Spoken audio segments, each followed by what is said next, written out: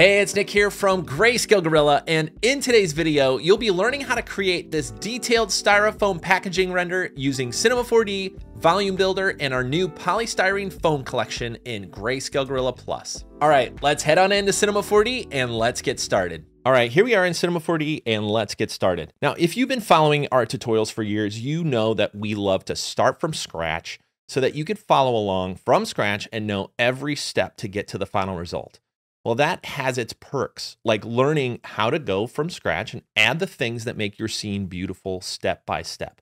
But when it comes to things like cameras and HDRIs and basic render settings, honestly, they're really similar in many of the scenes that we're creating. So rather than literally go explain how to set up a camera, add depth of field, how to tweak your render settings, how to turn on Redshift, how to eh, do all this stuff, um, we have now created starter scene files to make this so much easier. And they're not just great for tutorials, they're great for production as well, so that you don't have to start from an empty scene like this every time you open a new project. So if you haven't downloaded these scene files, click down below or up here in YouTube. They're completely free, and we made them to help you speed up your work as well. So I'm going to open up the Redshift one, but so many of the things that we're about to do are identical across the board when it comes to using Octane or Arnold as well. Okay, so if you have the scene file, open it up, and you know, if you watched our last tutorial, that it's all set up. We have HDRI lighting, we have cameras, and now we're ready to build the look that we want without having to set all that stuff up from scratch. Okay, now that we have this ready, let's build our cute little styrofoam. I'm first of all just gonna turn off our shader ball by holding down Option on or Alt on your keyboard and double clicking on these traffic lights. Uh, now we need to set up our little piece of styrofoam. So let's start with a cube. And I'm just going to scale this cube way down. Scale is super important, especially when working with realistic materials and subsurface scattering like our styrofoam has, which we'll add later. You want to make sure you model and create things at the correct scale. So something like 25 centimeters uh, is somewhere around 10 inches. I think that's a good place to start. Um, so if that's 25 centimeters wide, let's do something like 10 centimeters thick. Maybe 15 is a good start. And then let's also do 15 for the height. Uh, maybe we bring that down a little bit more, 12 centimeters. Yeah, okay. So uh, that is the first part of our little styrofoam block. Now I want to zoom in so that I can move my camera around and orbit. Uh, if you're using the scene file, you just have to delete any protection tags of things that you want to move. So I'm just going to delete that protection tag on our 100 millimeter camera. And we're going to duplicate this cube. So I'm just going to hit Command C, Command V, and I'm going to rotate it 90 degrees by grabbing the rotate, holding shift, it'll uh, snap to 10 degree increments and we're starting to create this little plus um, piece out of styrofoam. So I don't like how narrow that plus is. So I'm going to grab both of these and just make this a little bit longer so we have a little bit more to play with. Okay. So uh, how do we start to combine this into geometry that we can add and subtract and bool things out of without using old school bools? Well, this is where the volume mesher and volume builder is going to be really powerful to build this. So if you have this little menu here, uh, go ahead and click this and grab a volume builder, volume mesher. If you don't see this icon, you can hit Shift C and just search for it in your commander. And this is going to be where we build all of this awesome geometry to create the styrofoam look. So um, the first thing we need to do is add our cubes into the volume builder. And we're going to deal with the volume mesher later. And by default, uh, especially at this scale, there's just not enough geometry going around. There's all these little voxels and uh, certainly doesn't look like a piece of styrofoam. So what do we do? Well, let's go into volume builder and instead of your so voxel size being 10 centimeters, let's make it 0.2.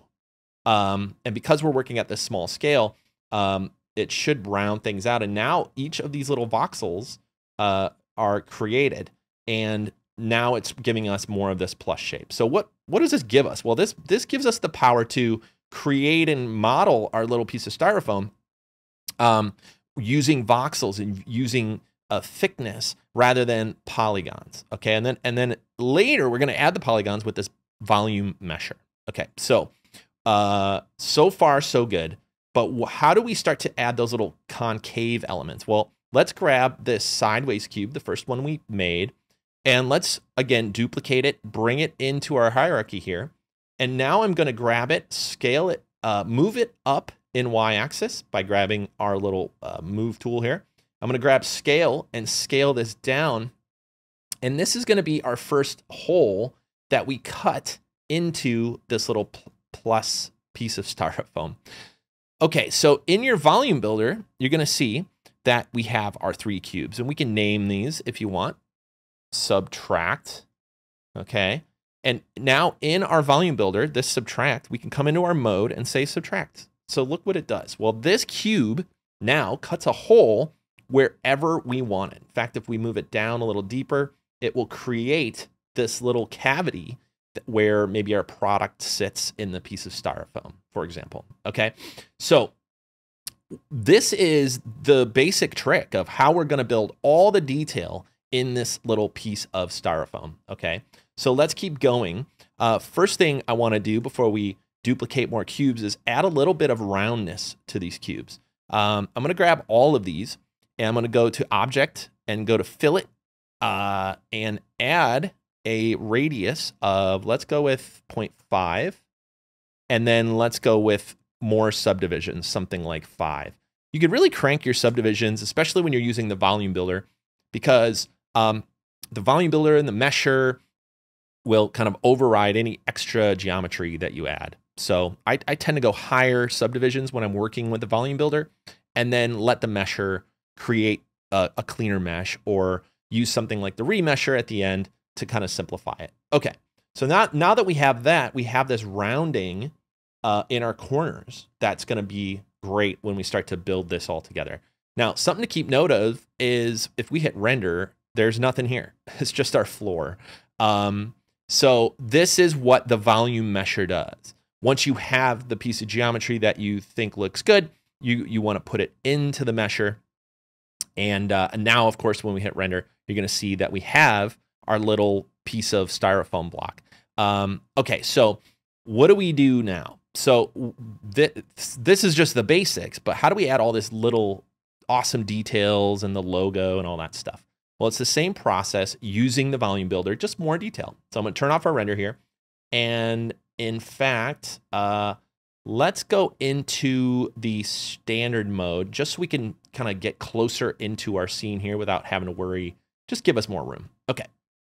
So uh, from here, we want to, let's add these little handles on the side.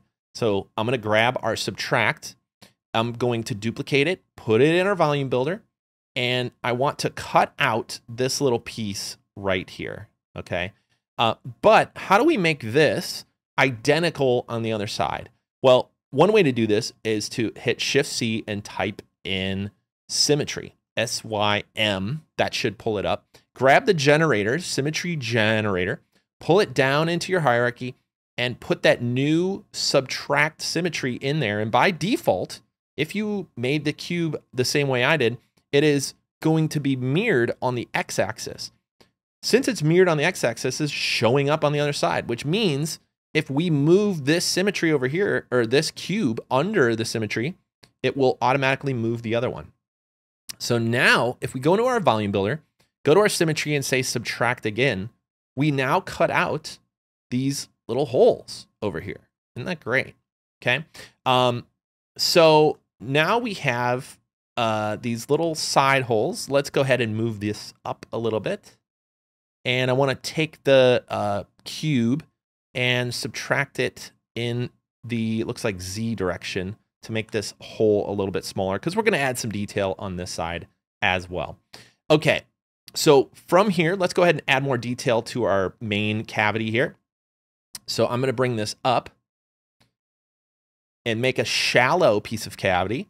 Then I'm going to duplicate that subtract, bring it into the hierarchy, make sure that that new subtract is also subtracted, and this one's going to go even deeper. So let's go ahead and grab that new cube, make it deeper, but also we could just grab this little node here on the side and pull it in so that we have kind of a stepped, a layered step into this piece. And in fact, let's grab the other main one and, and make even more room because I think we're just going to put like a logo or something in here. Okay. So now we have this nice detail there. We have our little uh, side handles. So when it's in the box, you can kind of like pull it out. Let's go ahead and grab our shallow cube, which I think is this one. Nope, that's the deeper one. Let's grab the shallow one. That's this one. Uh, and again, we could rename this. If you're uh, smarter uh, than me, you can say uh, um, subtract uh, shallow, subtract. Okay. And this one, I want to rotate around. So let's grab our rotate tool and let's rotate it. I'm going to hold shift again for constraining to 10 degree increments. I'm going to make this a little bit larger and let's go into our builder and say subtract again. And this piece I'm going to make even more shallow. Uh, I grabbed the wrong one. If you do that, hit undo just like I did and make this piece super shallow. So we're just creating more detail and um, kind of pieces of interest, but also this is how styrofoam looks, right? Like it's not just one piece of slab. It has these little details to let the, obviously let the product sit in here. Um, I don't like how wide that is, so I'm just going to grab this and make it a little bit more shallow. Okay, so we got our little plus. We have our cavity, which is looking cool. Um, now let's add uh, a couple little details to this side here as well. I want to use another symmetry object, so let's just grab and duplicate the symmetry object. Again, pull it down into the volume builder. And for this, I want to take these cubes and move them in, and let's move them up. And I want to make little teeny tiny little nubs. Okay, I don't know if that's a technical term, but I want to make these little little square nubs. Um, smaller than that. Let's go with two by two by two. That's closer. And I want to move it up. And this might be still a little bit too large. So let's go with 1.5, 1.5, 1.5. Okay. All right. Now we're talking. Now our uh, radius is a little bit large for this scale. So I'm just going to shrink that down.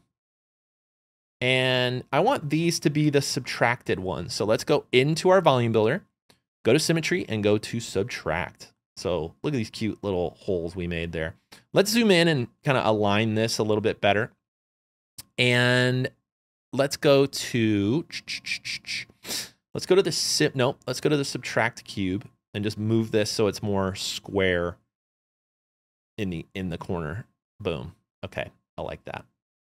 All right, so that's nice.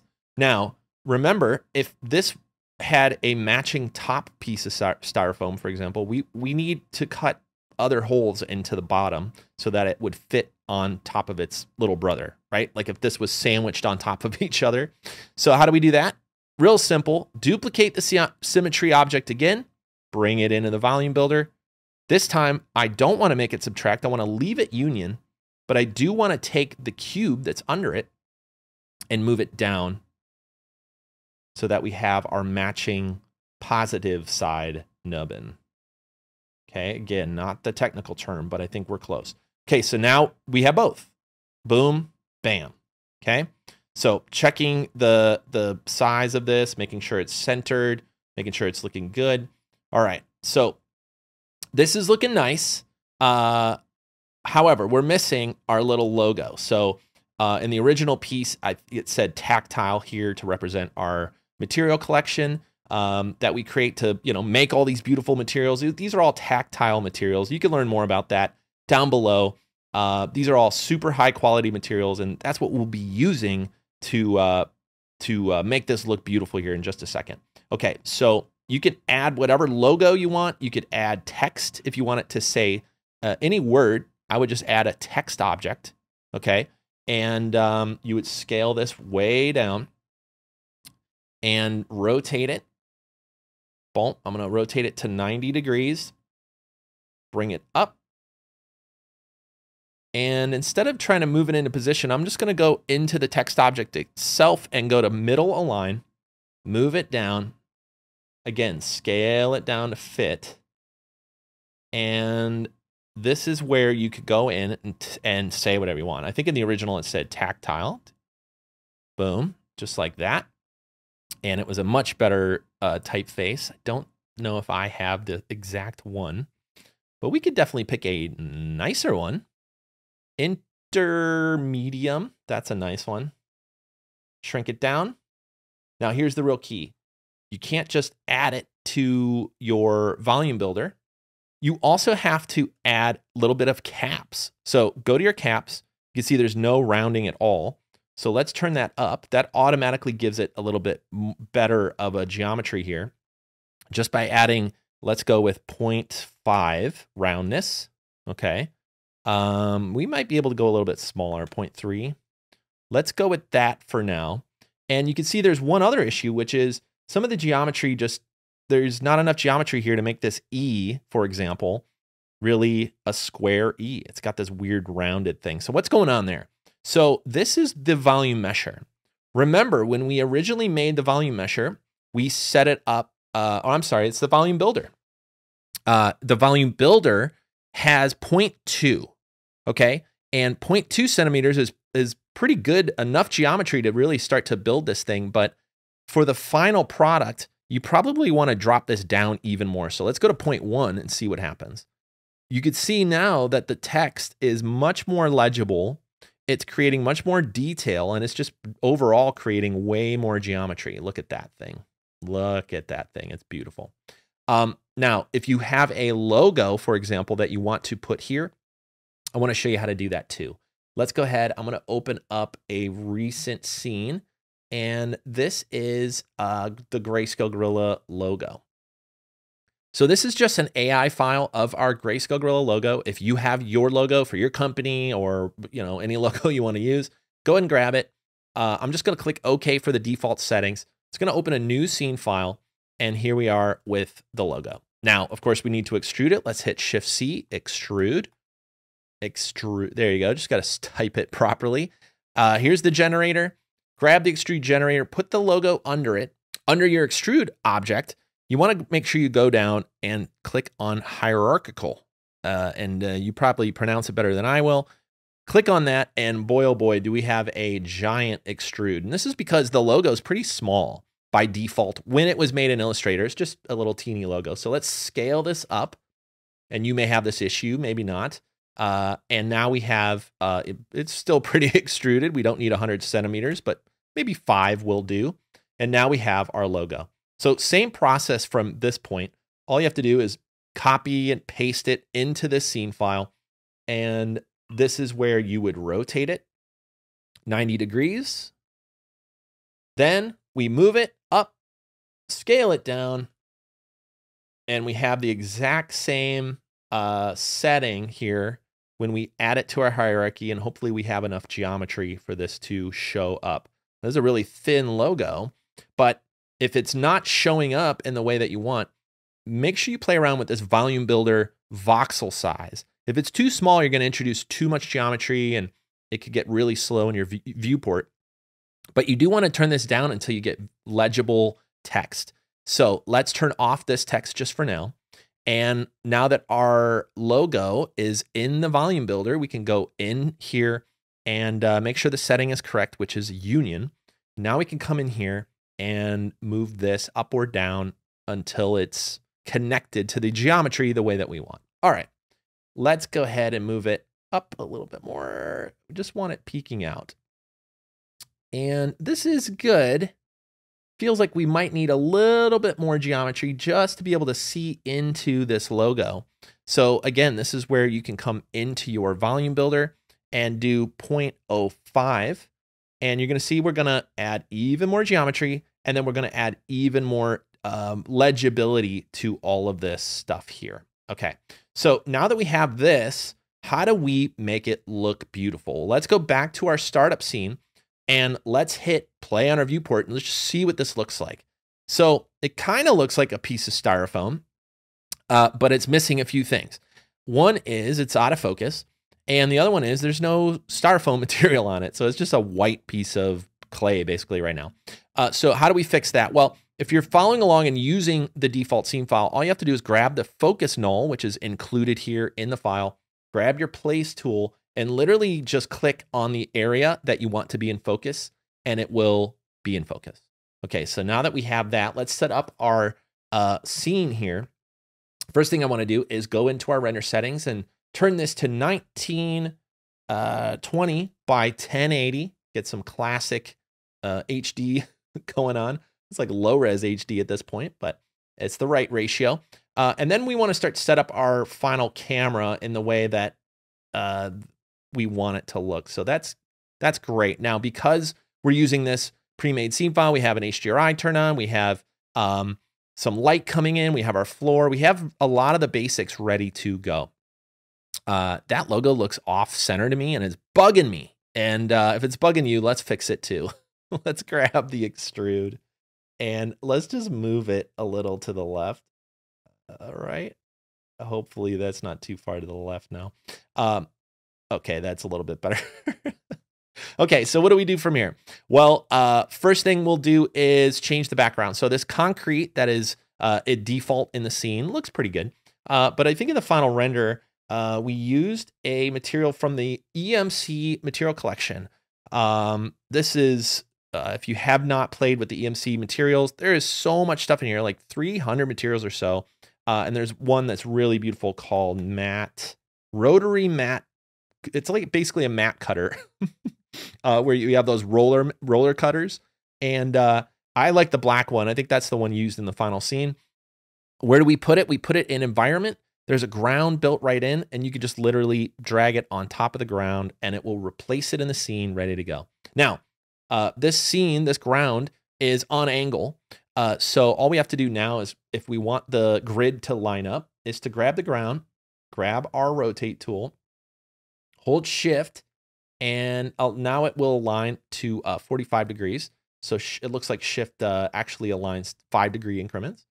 And now we scale that material down. So let's, um, now we could scale the material down or we could scale the ground down. Let's scale the ground down. Uh, click the ground, click the scale tool over here, and let's scale down until this grid pattern gets close to the edge of the styrofoam. Boom, boom, bam. All right, once you have a camera angle all set up, I'd like this top-down centered look here.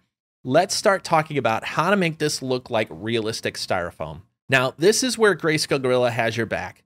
Just like so many materials over the last few years, we've been capturing high quality materials that allow you to drag and drop beautiful looking, realistic materials on your objects. And we just introduced our polystyrene foam collection. So if you're a member, make sure you go download these so you can follow along. And you can see we captured the white and the black styrofoam and that weird blue stuff. I don't know why they use it, but we captured it so you can use it in your projects as well. And what's great about our capture process is, first of all, they're drag and drop, ready to go. And the second thing is, is everything is dialed in, including displacement and subsurface scattering. All the things that make realistic materials real are included and ready to go. All you have to do is drag and drop. In this case, we do have to do one more thing is just scale it properly and turn the UVs correct. So let's go into our projection and turn it to cubic mapping. And I have a feeling we're going to have to scale this down a little bit. Let's go, let's go nine by nine and look at where we are there. Oh, baby, that's that is so much better. So you can see the subsurface scattering is actually letting light leak through these little pieces uh, here's another good example. The light is actually coming through and showing to the camera, um, not just looking like hard plastic with a styrofoam material on it. It's actually acting like real styrofoam because it's captured from the real deal. So uh, I want to show you another one of my favorites, this black one here. Just while we have this camera angle, let me drag it on here. Uh, maybe you're going for that darker look, or maybe you're trying to recreate this look for a real piece of packaging. Check out these as well. I'll finish this tutorial using uh, this one, the number seven, which I think was used in the original render as well. Now this is looking pretty good. Let's also add some displacement. If you're following along in Arnold, you want to follow along with our displacement tutorial, make sure you go watch that one here on YouTube. If you're using Octane, you basically get uh, displacement by default. Just drag in that material and you have displacement right on your object. And if you're using Redshift like me, all you have to do is go into your tags, go to go to your render tags, click on Redshift object, go to your geometry tab, turn on override, turn on enabled, and turn off screen space adaptive. go to minimum edge length and set this to one. Go to maximum subdivisions and set this to two or three. Let's go with three. And then turn on displacement. Now, once you do that, the geometry is going to uh, probably be a little bit more displaced than you want it. Yep, just like I thought. So here's the displacement in action, but the default of one centimeter is just too much. So let's tone that down by going to displacement scale and setting this way, way smaller, something like 0.1.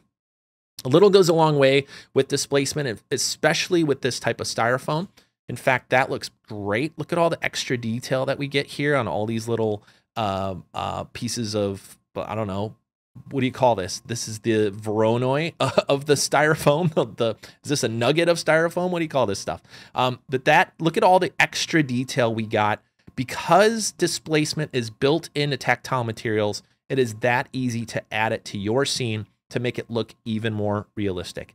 Okay, from here, I would highly recommend you play with your lighting. I love the default lighting here right in the scene. Um, again, we're using the default scene files. If you haven't seen that video, make sure you go watch it.